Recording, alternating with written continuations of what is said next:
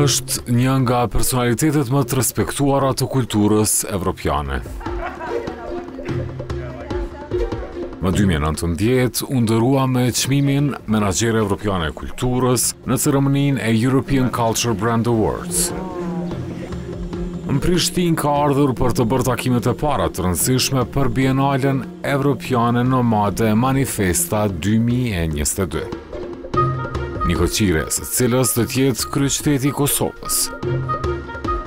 Në agent kanë të dhe 30 minuta për këtë intervist për të shpalosur të regimin unik të nxarjës që e themeloj 25 vjetë më parë.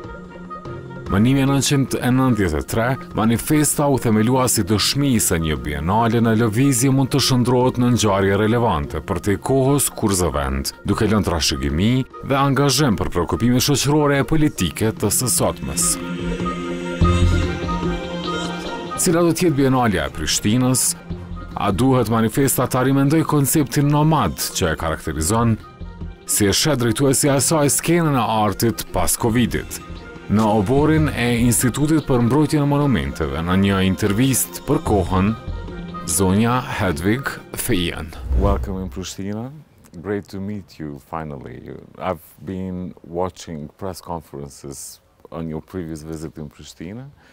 And um, I'm so happy that we have a we will have a chance in the next few minutes to talk about um, Manifesta and about uh, the Pristina edition. So thank you for for thank being here. Thank you for inviting me.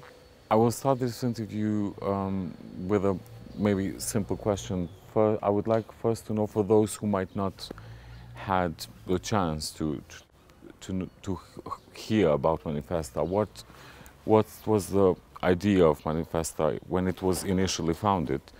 And um, now, 25 years later, when you are preparing for the uh, next edition, Pristina will be the host of um, a very important anniversary for, for, for, you.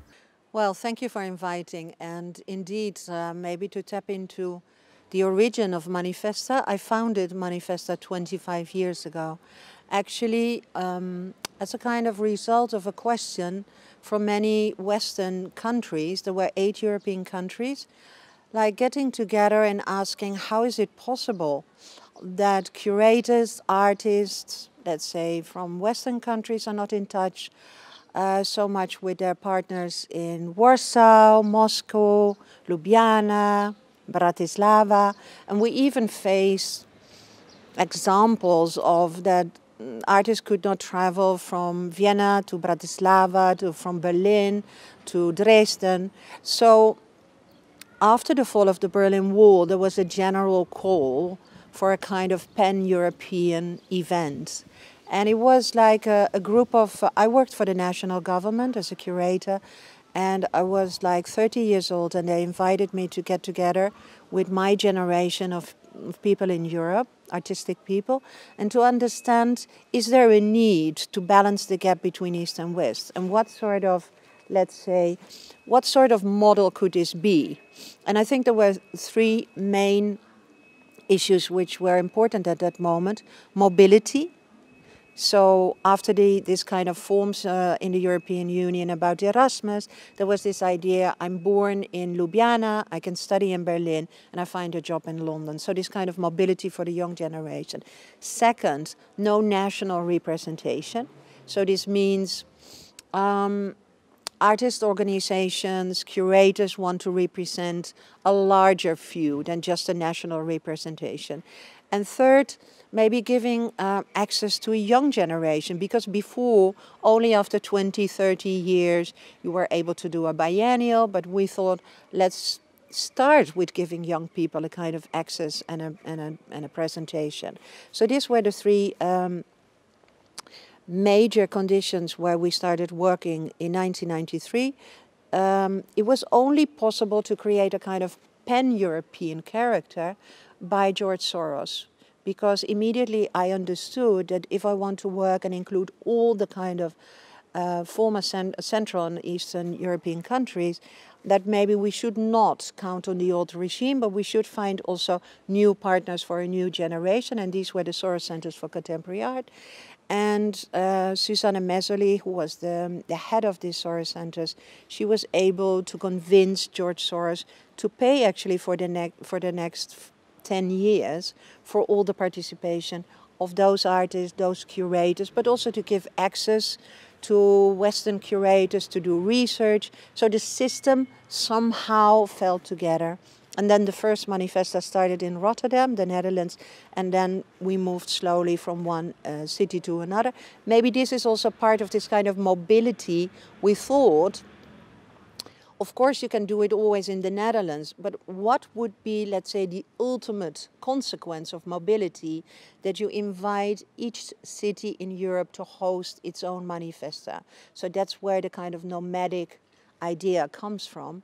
And actually, René Block, the famous Fluxus uh, curator, he was inventing this name Manifesta of course, a little bit reference as the kind of youngest kid on the block after the Documenta, but also manifestare, which is moving, a manifesto, it's a kind of a, an attempt to change things, to create new experimental formats. So, yeah, that was Manifesta 1, 1996. Now we're 25 years later, you refer to our anniversary. And I think Manifesta 13 14, we just closed Manifesta 13 in Marseille. France was our first presence there. Now we are here in Kosovo. And I think the selection of Pristina as the host city of Manifesta 14 is crucial. And I think things come together here. Um, how do you, how do you, most of people think that you choose a city, but it's, it's not like what it is. No, no, absolutely. like, yeah, like to, to can Maybe I can us, explain yeah, a little explain bit a little about bit? the methodology because it's a little bit playing the Olympics in terms of we invite cities to make a bid. And I think this is also a different format than any other biennial. First, we are mobile, so we change places every two years. We have a head organization in Amsterdam. But secondly, we invite cities to come up with a pro proposal. What is urgently needed in your city? What do you like manifest as a kind of incubator to do in your city? In which circumstances? What sort of relevance? And mostly the kind of bids come from arts organizations, curators, sometimes the municipality together with local museums or arts uh, institutions. And always there's a kind of a commissioning part. There is a kind of what we call engaged autonomy. So partly, of course, Manifest is an autonomous organization, but we work together with existing organization because if we would completely stay outside, let's say, the governance model or municipalities, then there's no ability to change. And most of the time, Manifesta is invited as I said, as a kind of incubator to stimulate certain transformational formats, to help create certain institutional bases, or as we discussed before, um, refurbishment of different heritage sites or revitalization of certain areas, but also to bring in international networks. In these 25 years, we engaged with many many different institutions in Europe, also because we're constantly moving to different places, so we can also easily connect. Secondary, I think, because of the autonomy, the engaged autonomy, we're also looking constantly what does fit in a certain city. So obviously, the model for Pristina is not going to be copied as the model for Marseille.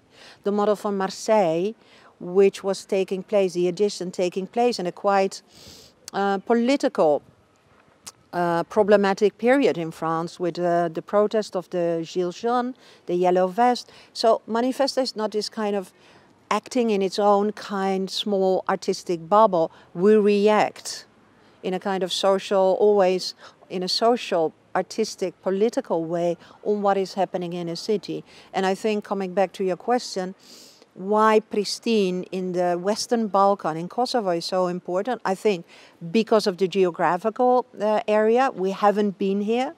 And I think the area is 20 years after the war, the youngest sovereign country in Europe.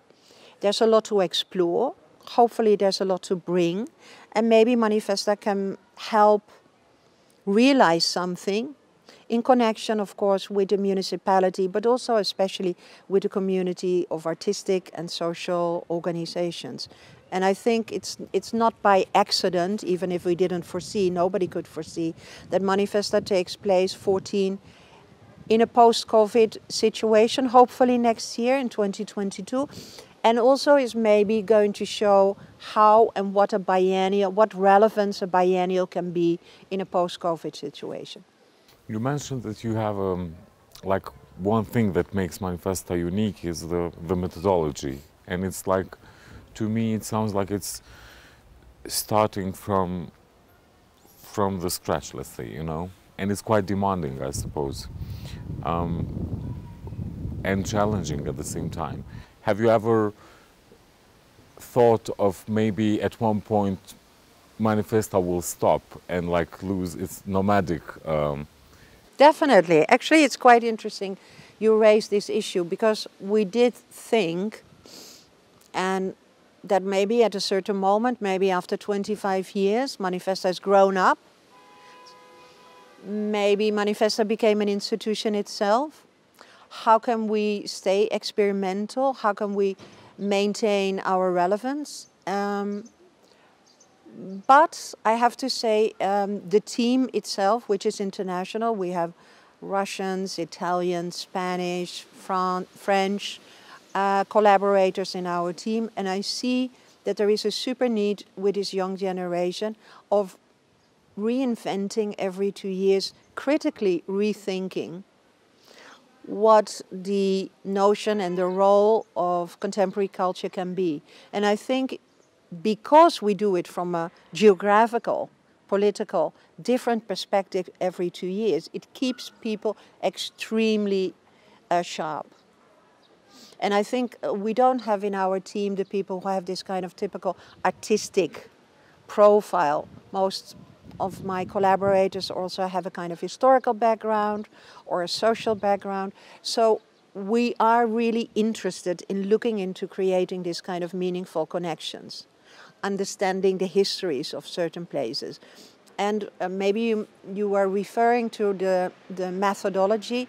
Since we are coming every two years to a new city, we work long time in advance, mostly four to six years, uh, starting with mapping a city, for example, by inviting artists and uh, uh, architects and urbanists to really understand where are we, not only in a technical way, but also in a kind of anthropological way, understanding the histories of the of the inhabitants. But we're also like uh, putting a lot of effort in creating human relationships. I mean, you can't do this work obviously by Zoom or on a distance. You need to be in the place, understand the place, create connections between the local team, the international team, and what we found out is also that every time uh, we, we try to understand how can we find a new methodology to really connect to the local people in a kind of a way which is opening up certain procedures. So, for example, in the period of, uh, of um, uh, being in Marseille with the protest of the Gilets jaunes, we thought it's quite crucial to understand how can we involve the voice of the citizens and how can we involve people who really want to think about the future of the city. So this is where we started with a citizen assembly involving um, youngsters, but people from many, from different age, different background, different religions, in really um, discussing with us the impact of this urban study, which at that time was done by uh, an urbanistic and architectural studio. And the kind of reflection we got on this really shaped the work we did afterwards. And even more interesting, the new political scenario which was um, at place in Marseille after the election, they took the model to really install permanently. And this is maybe a kind of a, let's say, legacy impact we're looking for. We're not only an exhibition machine anymore. We're looking into kind of creating meaningful relationship, acting as an incubator, stimulate certain kind of practices and see if after manifest and a kind of post-manifesta period, this can continue. And that's also what we're looking for here in uh, Pristina.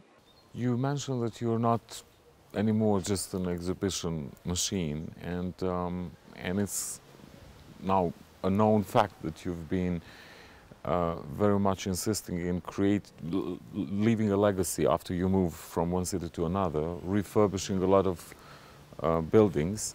Uh, at what stage uh, are we now in Pristina? Have you ident been identifying spots where Manifesta will buildings or where Manifesta will, will settle and will work with uh, with particular um, um, buildings? As you might have seen, we lack about having and using the public spaces and also like Exactly. Uh, a lot of buildings that we, we do have, but like they are just there, hidden and forgotten in a way. Exactly, as we are here in this beautiful space.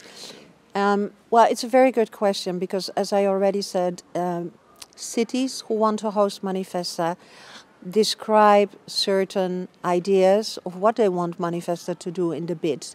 And um, in the bid of Pristina, there were a couple of interesting uh, leads first, how can Manifesta help identifying and maybe reclaiming public space? Because in the kind of um, last 10 years, uh, privatization uh, strategies, some of the public spaces were lost, and what sort of kind of um, practices and strategies could be behind. Secondary, the idea was also because of uh, an entire discussion here about the founding of a museum of contemporary art and the kind of um, issue with the Germia building. So could Manifesta help set up a museum? We immediately said, no, this is not our task. This is a governmental task, but we could help, of course, thinking and rethinking what is the, let's say, what are alternative model of institutions could be relevant for Pristina? Do people need a kind of art institute? Is it an artist in residence? Is it kind of workshops, more in a practical sense? Do they need an archive, um, a center for education and learning in cultural education? Um, or could it be an ecological institute, since Pristina is also quite a, a city with a, pollution problem. So we're looking into this at this moment and the urban vision and all the studies related to this. So it's Carlo Ratti Studios and MIT who are now working actually the moment we speak in Pristina, come up with the kind of first ideas. And then we started with Arna Mačkić. She is an architect from Bosnia-Herzegovina. She will start with um, citizen assembly. So also here we will discuss with citizens what do they think is the future of the city, what sort of topics need to be uh, touched upon. And uh, we did a series of expectation workshops, also rethinking and asking just bluntly to people from different areas, both from education, from civic society, from the arts world, what do you want Manifesta to do and what are the crucial issues at this moment? The municipality is very keen in supplying us with a kind of relevant context. And uh, we're now looking into the Suleiman Library building, if we can use this probably into refurbishing or helping to create a relevant function for this. And the municipality also asked um, uh, Carlo Ratti and his architects and urbanists to look into the brick factory. Um, a former working space, an industrial area, which could be maybe um, refurbished and revitalized into a kind of a cultural hub or a kind of um, relevant space. We don't know which direction it's going. So these are the three, let's say, tiers we are working on. And it's a little bit too early to say exactly which direction it goes. It is this kind of methodology which is based on research. Um, but what we really want to do is that it's both bottom up and participatory, and at the same time connecting to all the organizations in Kosovo who can have like a kind of a relevant say of this, and seeing Manifesta as a kind of creative mediator. So we're mediating actually what everybody wants, and maybe bringing some kind of um, important partners from abroad, creating a kind of opening up our network And then hopefully in September, all these kind of issues and the outcome of these research is going to be presented. Then, of course, on basis of the outcome, we will invite curators, programmers, mediators to work with us. And then from September, we start. And then we have a little bit more than one year to fulfill all this. And that's, of course, the real challenge in a kind of COVID, post COVID situation. Are we able to bring really things to life? How efficient can we be? What will be the traveling uh, situation? Is it possible that this mobility is starting again? So these are the main questions. Uh, but we're super confident because we had like very fruitful and productive meetings last few days. Everybody, it seems, is behind it. Of course, we need also critical voices. We want to learn. We want to unlearn also what should not be done. But um, we are super delighted that we finally can be here because we had like a gap of six months. We were supposed to start really working on in September to 2020. And because of COVID, we are a little bit postponed, but, but now very confident. Settled the local team, and you know, like we are super happy that even by and, and this is also like learning from the COVID that we hired our team online, that we instructed them and learned from each other online, that we now have an office in the Palace of Youth and Sports, that we are investigating all the venues, and yeah, that's we have been kicking off, and that's uh, that's very thankful for this. Uh, Marseille, it seems it was quite a challenging uh, manifesto. Yeah, and um, as an art historian, how do you see the future in arts in a post-COVID? Let's hope we will pass this because we still don't know when it's going to end. But should we rethink everything after COVID? Well, I think for Manifesta, we are facing, but we, we were one of the few, I think maybe together with the Berlin Biennale, the only Biennale which opened during COVID. And it caused it, it caused problems, but it was also like very interesting to understand how extremely impactful is what you do. Because if we relate to Manifesta 12 in Palermo, the idea that 6,000 people fly over for an opening, how many flights, how many pollution, how many kind of you know, impactful. On the same time, cities are also expecting this kind of international. So the notion of mobility, the notion of this international tourism, the notion of how radical local can we turn a manifesta into, how many bi biennials are effective? How many art fairs are effective? How much can we incorporate this kind of traveling, or are there any alternatives to this? And I think Manifesta is the first to question its own relevance. We were already looking in Marseille very much to have a local impact and to to focus much more on local audiences. So instead of having sometimes 100, 200,000 people from abroad, and Marseille was mostly local, regional, and national audiences. But even in kind of education and in all kind of our other projects, we were focusing on how to interact with those audience who are normally not participating in contemporary culture. I'm not speaking only about contemporary art, but definitely in contemporary culture involving also many kind of educational or even social cultural projects. And I think that was an extreme learning lesson for us. And we are now in a process of even reforming Manifesta maybe in this way, maybe using most of our budget to invest locally, maybe still creating this kind of international network, but facilitating something which could have a longer sustainable model also in a kind of a local context. So this could mean that if cities wants us to set up a certain institutional framework or kind of longer, uh, long-term organization, that we not only focus on getting the Manifesta edition financed till after the opening, but also thinking about the long-term perspective. So that if we have to set up an institution like here in Plestin, that we need to think, how is this institution going to survive after Manifesta has left? And I think this is a kind of social responsibility which we really want to take. We don't know exactly how this is functioning, But with our donors and our sponsors and our partners, we put this on the table because I think this is the kind of changes also COVID has learned us how to create something which has a much more sustainable impact.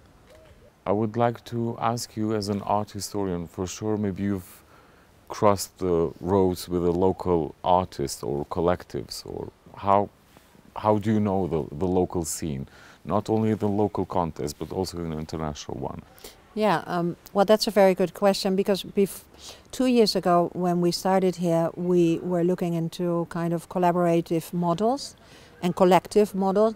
And the first thing we did was like mapping all the organizations on the Western Balkan uh, with whom we could collaborate, like in Macedonia, Bosnia Herzegovina, Alb Albania, uh, Serbia, but also, let's say, a Roma organization in Berlin, some organizations in the diaspora in Germany and Switzerland. So we mapped them, we got in touch with them, and we created um, a two years project, which is funded by the Creative Europe Western Balkan, in which we collaborate in this kind of regional regional atmosphere. These are not only like arts organizations, but also um, social organizations, civil organizations, um, and I think this is one level in which we collaborate. Of course, uh, we did a lot of visits already with local organizations. So, for example, uh, we're working together with Termokiss, we're working together with Civicos, we're working together with uh, CAF, um, Kosovo Architecture Foundation, with other architectural organizations, with university.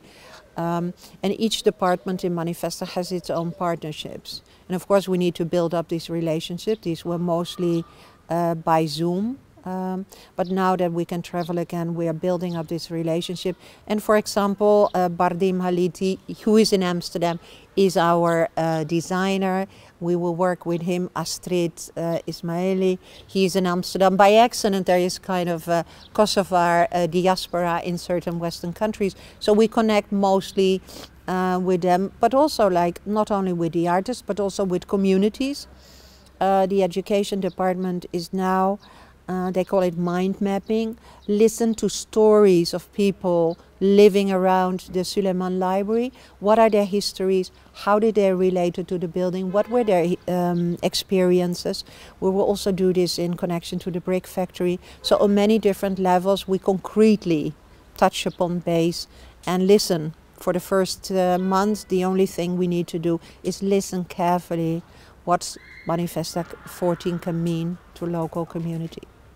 I would like to continue the interview for for many more minutes, but like it's um, your agenda doesn't allow this.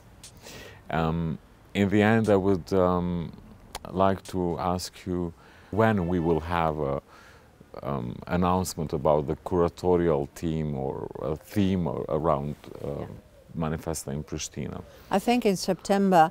We hope that next year we can open from the end of July till the end of October. That's a little bit the time frame.